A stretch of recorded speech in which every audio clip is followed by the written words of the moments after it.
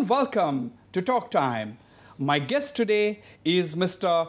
Utpal Bora, the Chairman and Managing Director of Oil India Limited, a Navratna company that is one of the country's important and big oil majors. Mr. Utpal Bora, once again, welcome to my show. Uh, thank you very much for having me. Pleasure.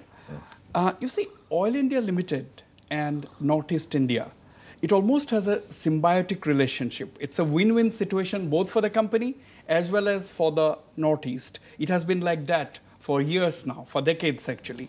So, how do you look at it? What has been your company's trust areas of late in this region?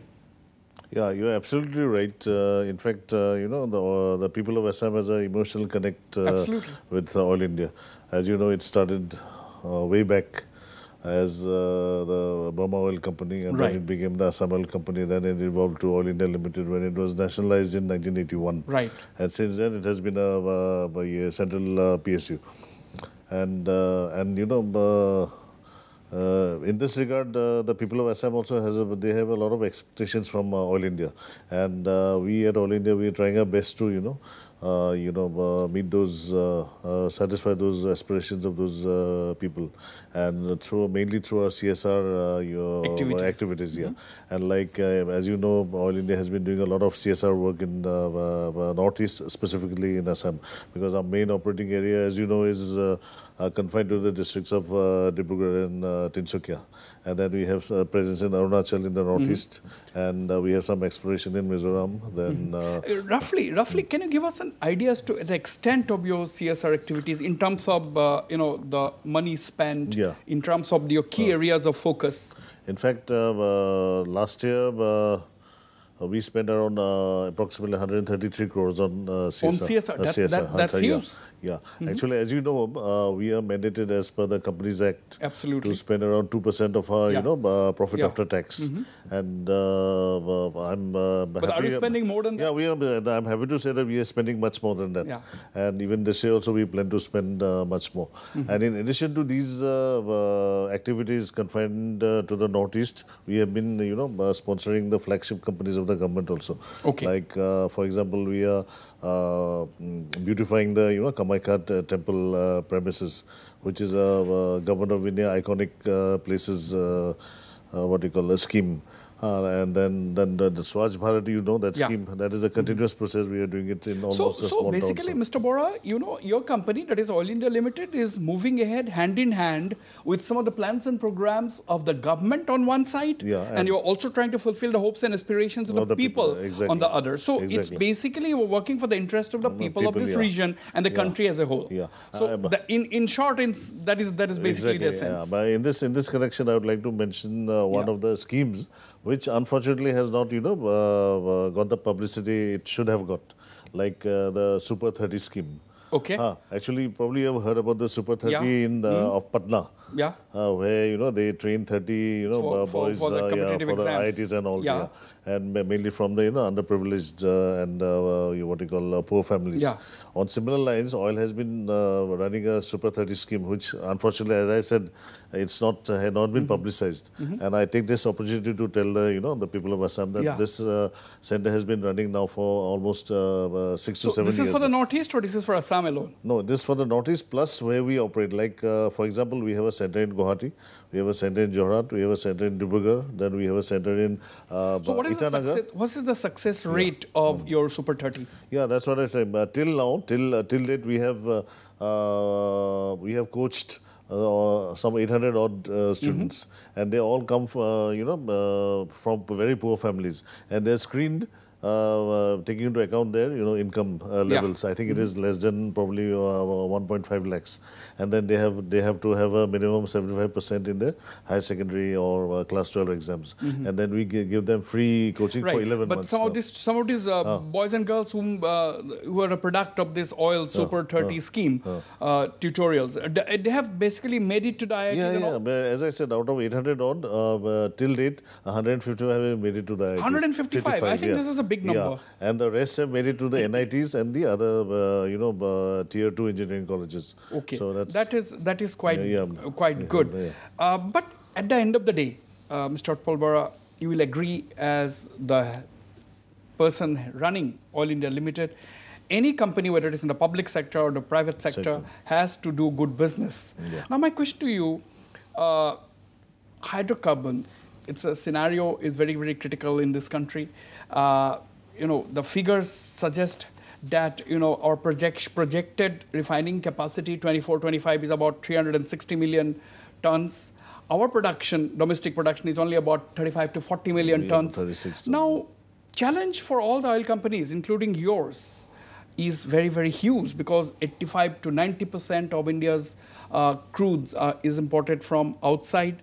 Right. So, how long is this going to go on? Is the scenario going to change? And where does the Northeast figure in your scheme of things? Because this is one of the richest oil producing regions, at least in the country. Exactly. Uh, as uh, you have rightly pointed out, the country imports around 80% of the crude requirement, and uh, you know consumption is increasing every year. Every year. And probably today we are the third largest uh, consumer of energy in the world, and this demand is uh, definitely going to rise. And uh, historically, there have been only two companies producing oil domestically. It's uh, one is ONGC, the second is oil, and in the private sector, it's uh, Cairn. Yeah. But unfortunately, the uh, production levels of ONGC, oil, and Cairn have all uh, fallen. And this is a natural phenomenon because this is something you know uh, which nature has uh, Yeah. given us. Yeah. So it cannot uh, you know continue uh, for indefinitely.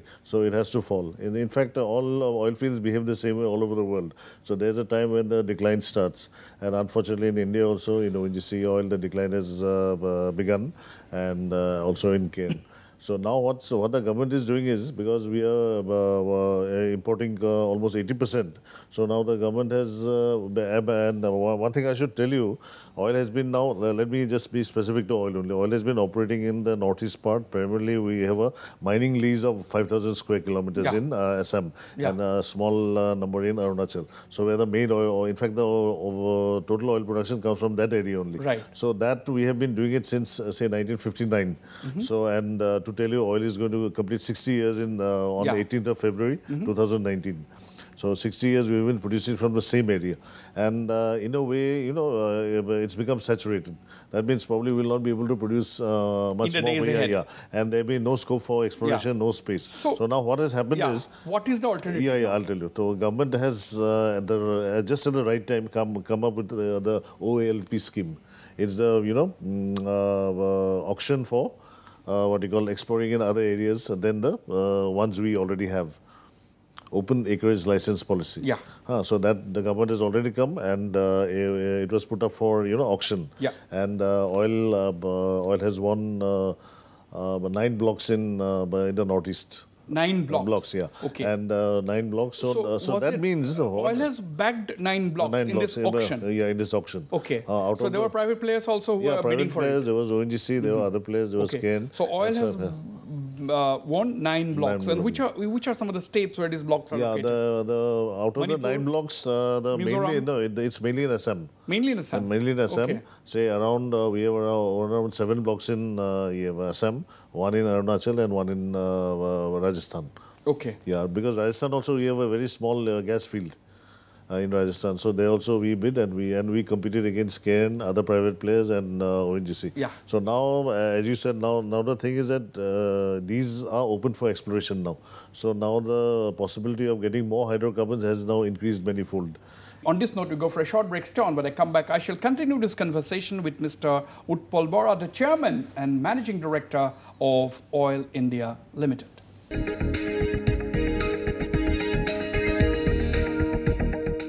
Welcome back. I am in conversation with the chairman and managing director of Oil India Limited, Mr. Utpal Bora. Uh, Mr. Bora, you see, we are talking about the hydrocarbon challenges, we are talking about the production challenges. Uh, now, Oil India Limited has bagged nine blocks in the Northeast. Now, which are some of the absolutely uncharted territory? For example, uh, in Mizoram, you had recently, the company has advertised for drilling engineers and others. So that means there is some activity going on in Mizoram. At the same time, you had recently met the Manipur chief minister. You were supposed to do a 870 kilometer long line seismic survey. Uh, you are doing the seismic survey, obviously, with the hope that some positive results could be located there, but you're having a lot of problems in carrying on with the uh, seismic survey in uh, Manipur. Out of 870 kilometers, you have been able to do only about four to five kilometers uh, of survey. Now, what is the scenario in some of the new areas that you are trying to move ahead, like Manipur, Mizoram? Yeah. And I'd also like to ask about Nagaland, if any, okay. if at all. Uh, in this connection, uh, uh, likewise, uh, like uh, not likewise, like OLP, the government has also come up with a scheme of NSP, which is called National Seismic Program. yeah. Okay, that is to, uh, as you know, before you go for oil exploration, the first thing do you do a seismic, Seismic survey, yeah. survey. So that is the first thing before you can actually go and uh, drill wells. So in India, in many of the areas in the sediment, there are some 24 sedimentary basins in uh, India. So till now, uh, all have not been, you know, uh, surveyed till now. So the government around three years back, they come, came up with this program of uh, NSP. And uh, what they have done is they have given the mandate to Oil India to cover the entire northeast. And the rest of uh, India is being done by ONGC. So on those lines, we are now uh, going ahead with the NSP program. In fact, we uh, but the problem in northeast is like, for example, Manipur. We had to go in with the chief minister because we are having uh, some uh, you know security issues uh, doing the work. So we went to uh, meet the minister and he has assured us that he'll uh, do the But, needful. but it is very important to do this seismic survey. Exactly. Then only we'll know no, uh, whether oil is there or not. Mm-hmm. So the NSP program has to be, you know, uh, uh, done and completed. In fact, uh, but the deadline is uh, March 2019, uh, and hopefully we'll be able to, you know, meet And the deadline. what is it? What is going on in Mizoram? In Mizoram, uh, Mizoram actually, uh, as you know, before this OLP scheme, there was a NELP scheme going on Yeah. uh, in India. In fact, uh, NELP, there, there were nine rounds of, uh, eight rounds of NELP. And this Mizoram block was backed by oil in one of those NLP, uh, NELP rounds. So at that time, we did. So, uh, uh, has it already been struck? Has oil been struck, no, no, or you are yet to? no, no. Yet so, to uh, in fact, this uh, program started around five, six years back, and uh, during that time, we drilled two wells in Mizoram. So, unfortunately, both the well went, uh, both the wells went dry. So, we were in fact looking for gas. So, now what we have done is we have asked for an extension to do more exploration work. So, now as you are seeing in those advertisements for you know engineers, Yeah. rigs, and all, so you are going to be uh, to drill more wells in Mizoram, and hopefully this time will be uh, successful in. Uh, so that means, gas. apart from Assam, you have your operations in Arunachal from a very long time. Yeah. Uh, Mizoram, you are going to begin Yeah, your yeah. search. No, Mizoram already started. Al- now we're going to we're going to I mean expand, uh, expand your expand it, yeah, yeah. Manipur, it's in a very, yeah, very yeah. nascent. Uh, in uh, fact, all the other states of uh, all the other northeast, yeah. states. Basically, other states will be seismic surveys. Yeah. Now, you see, the a question often been asked, uh, Mr. Bora, is this: that Oil India Limited has roughly about 10,000 uh, workforce. You're producing roughly about 3 million tons.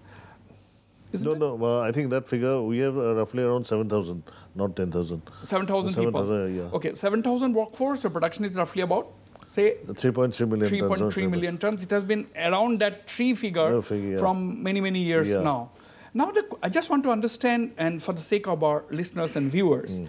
uh, Eric, I know your social obligations. That is why you may be having 7,000 people, Mm, yeah. because you are also a company that has to take care of a lot of other Uh, yeah, issues, exactly, yes. social welfare issues. Now, a company like Cairns, which is another major player in India, they may be having just a few hundred people and also producing around 3 million tons. So, how would you explain this Uh, from your, in your own yeah, words? the basic difference is, you know, the uh, public and the private sector.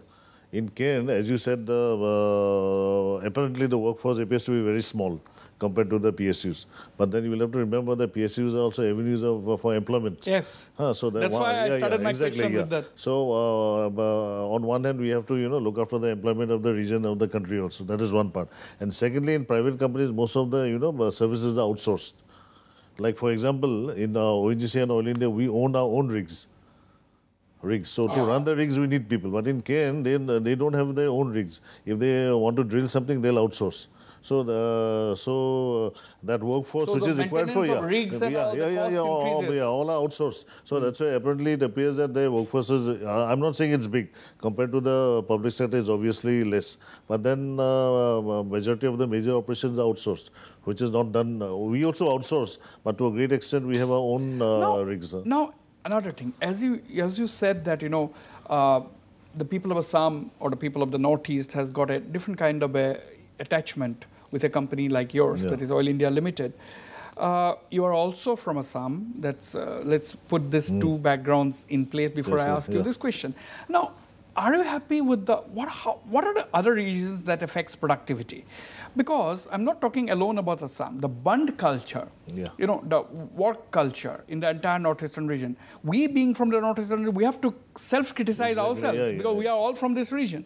Now, my question is, the work culture, the productivity issues. These are critical issues uh, that impacts on the overall performance of any company, uh, a production-oriented company. So, what has been your experience? Do you think had the work for work culture been better, you would have been able to produce much better? Or Uh, but if you uh, recall, I took over on uh, July uh, 2016. At that time, uh, the production of Oil India was uh, almost, you know, doing a nosedive. Uh, so, and my greatest challenge was to, you know, arrest the decline and then turn it, uh, what you call, upwards. And I'm happy to tell you that uh, since 2016, we have been able to increase the production. In 2016-17, we, we could increase it by 1%. In 2017-18, we could increase it by 3.5%. And hopefully this year we'll be uh, able to increase by 4 to 5%. so, So I'll tell you what, what's the reason behind this. The uh, main reason is that we are, the management we have been very uh, what you call uh, strict in monitoring the operations. We have taken some uh, harsh uh, decisions, and by uh, which you know things have become more organized, and that is one reason for the increase in production. And uh, the credit also goes to all our you know all each and every oil Indian for uh, because oil the oil industry I cannot do it alone. It's a teamwork Absolutely, basically. yeah. So the credit goes to each and every oil Indian. They have also been working, and especially to the you know the boys and girls, uh, you know, toiling day in and day out in uh, what you call in the fields, Yes. uh, braving you know uh, the uh, rainy season, braving the hot sun, etc., etc. Yeah. So that's and thirdly, most important uh, aspect is that, as you rightly pointed out, in Assam we had that you know culture of bandhs, protests, uh, disruption, and all that. Even in oil India, when I took over, there were a lot of uh, disruptions, and one reason for fall in production, one of one of the reasons was that uh, there were frequent bandhs, frequent disruptions. is the situation Uh, a lot yeah, better today? Yeah, yeah, that's what I'm saying. So there were a lot of disruptions. So what we did was uh, first we approached the you know state government. So in fact, I went, uh, I met the honorable chief minister, the what you call uh, industries minister, and the you know senior officials. And uh, I'm very happy to say that we got uh, full support from them. And because one of the reasons for you know these bandhs getting uh, uh, what you call lesser and lesser is the support of the state government. The, then I should uh, mention the names of the DCs and the SPs of Yeah. both the districts. They have helped us a lot. And thirdly, I think uh, uh, the different associations. As you know, in Assam, there are a lot of uh, student associations starting from ASU, Moran Students Union, Motak Students Union. There are plenty of unions. They, you know, their main uh, grievance was that they need employment. Uh, employment was the main, uh, what you call, uh, source of dissent. Uh, to these associations. So what we did, what we did was we, you know, had a dialogue with all these associations, one to one, very frank dialogue, and we made it very clear that uh, uh, we understand your problem, but thing is, oil cannot, uh, you know, continue to employ people uh, without limit. We have our own capacity. In fact, uh, once I told the honorable chief minister that I'll promise you that every year we'll be recruiting around five, uh, what you call, in next five years, 2,500 people. Because have we- you been- Yeah, you we been are doing it. We are doing it. In fact, so now as I this is an speak to important you, point. yeah. uh, as I speak to you, we are now in this year we'll be uh, recruiting almost 500 uh, people, both 500 officers, people. yeah, all uh, officers as well as uh, work, workers, and uh, that we needed because uh, you know uh, So gradually uh, with these the are OLP, employment from Assam. yeah, These are employment from Assam. yeah, yeah. You have already done 500. yeah. And so yeah, but next year also going to do 500 yeah, but- in 18, 19. yeah, so uh, approximately 2,500 in the next five years, starting from last year. On that note, we go for another short break. Stay on. We'll be right back.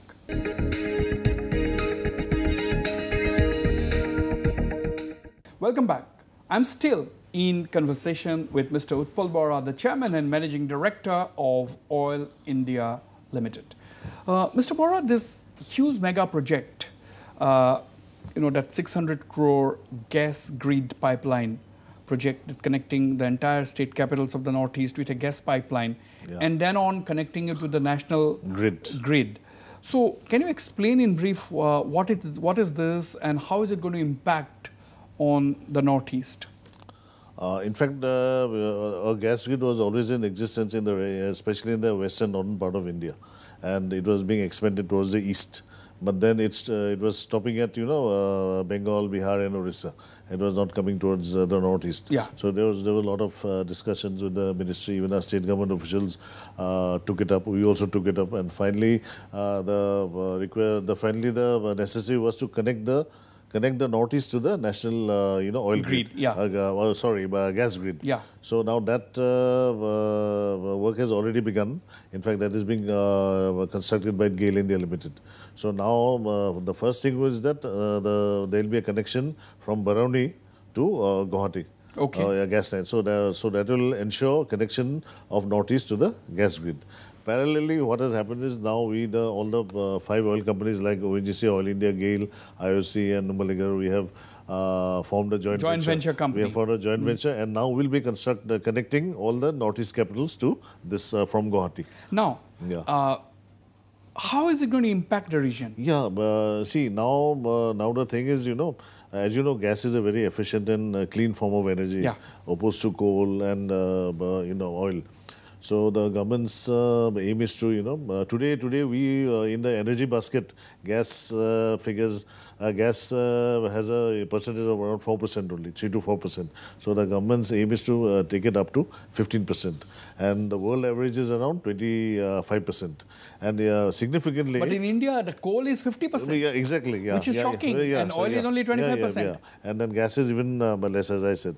But in Gujarat, in the state of Gujarat, the, uh, in the energy basket, uh, gas uh, has a you know uh, share of almost uh, 23 to 24 percent. So the government now wants to uh, increase it from 4 percent to 10, then to uh, 15. So if you have to do that, you have to cover the entire country. Right. Uh, and uh, uh, the uh, you'll be asking me uh, where you get the gas. Yeah. So now we have been uh, uh, India is in the process of importing LNG from uh, different uh, uh, parts of uh, the world. So the main source of gas will be the NLG, uh, uh, LNG. So there are many LNG terminals in the western coast, Yeah. and some are coming up in the eastern coast. So the eastern and northern part will be fed by the LNG terminals, which will be coming up in the uh, eastern coast. And this particular uh, exercise will be, take around say uh, two and a half to three years. So by that time, everything should be in place. Now, who will be the end users?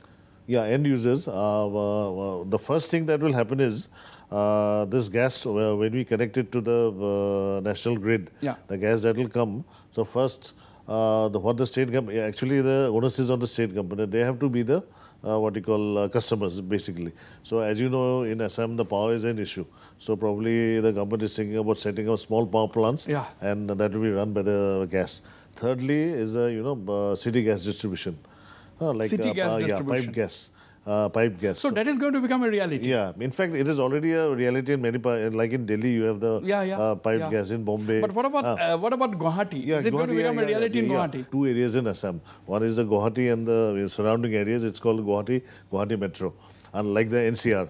And the third is that Silchar, uh, Silchar Karimganj, Hailakandi area. Okay, uh, now Cachar area. Guwahati Metro, that bid, when is the auction going to take The place? The auction is already is already over, Ah. and um, You- you have uh, bid? Yeah, we have bid, and and, and, and unofficially we have uh, uh, won it. But So um, I cannot give you an official statement. I know. Yeah. But but uh, but but at the end of the day, Oil India Limited is diversified. It is going to come up with the city gas distribution soon, and uh, in Guwahati as well. Yeah, I, uh, in fact, again we have formed a joint venture with uh, Assam Gas Company Limited and GAIL India Limited. Assam so, Gas Company and GAIL GAIL. India and Oil India, we have formed a joint venture and we have bid for that city gas So distribution. so the roughly two million people in and around Yeah, yeah, yeah, yeah. or maybe one million Exactly, people, will get piped gas. Piped gas, yeah. uh, you know, metered. Metered, yeah. Uh, they'll they have to pay the bill according to the use. And it'll be much cheaper than your. yeah, you, uh, you pay pay according to No, whatever you use, you pay for that. Exactly. There'll be a meter. Yeah, yeah, meter. So this is happening in what, what kind of a time frame do you Time guess? frame again. I'm saying, say first the gas has to come. First the gas has to come. uh, but what has a, what is a good guess? How Yeah, good, as I said, no, the timeline because the uh, construction of the gas grid has already begun. I told you. Yeah. So uh, that timeline is around two and a half to three years, and the parallelly all the uh, capitals will also be you know uh, connected. Right. So that is also moving parallelly. So once the gas comes. Uh, then That's going uh, to uh, yeah, then be a reality. So maybe say uh, True. uh, uh, to be very what you call optimistic, I should say another uh, three to four years. Right. Uh, it should be connected. huh? Mr. Bora, uh, we have talked business enough. Yeah, yeah. Now, my uh, all good conversations has to come to an end. End, my yeah. question is, you know, you have been a, traditionally an oil man. You have been in this industry for so long. Oh, yeah. Now, uh, behind every person, you know, there are some family uh, support. There are somebody, you must be, have had an inspiration within the family. How did it all start uh, on a personal note? Uh, like uh, uh, like uh, I have uh, my mother was one of the uh, my inspirations. Your mother? Yeah, uh, I think she was instrumental in me, you know, making me uh, take studies very seriously. Uh, so when I was in school or college, she was very, she was, she ruled us with an iron, uh, you know. So in a way, she was your first guru, uh, guru yeah, at yeah, home. exactly, exactly. And then after that, after I uh, completed my you know education and uh, what you call uh, joined ONGC. As Yeah. you know, I joined ONGC Yes, earlier, yes. then I came to Oil India. And uh, of course, my family, my wife, my children, they have been a tremendous uh, you know source of inspiration and Mm-hmm. Right. support. Because see, uh, being an oilman, we used to be away from our homes for long periods of time. Absolutely. Ah, and with uh, two children, I think that my- wife did a, terrific job in you know taking care of them. Taking care of the home front. Yeah, yeah. Yeah. Their, their you know studies, their other requirements. Mm-hmm. So I think my wife has a very uh, important role to play. Absolutely. And as they say, behind I, I'm not saying that some. Uh, to an extent, successful, there's always a you know. woman. Yeah, behind every success story or a successful yeah, yeah, man, there is a woman. yeah. Absolutely, more power to uh, women. On that on that note, we end Yeah, thank this you very much, conversation. yeah. Thank you very Yeah, much for okay. being on my show.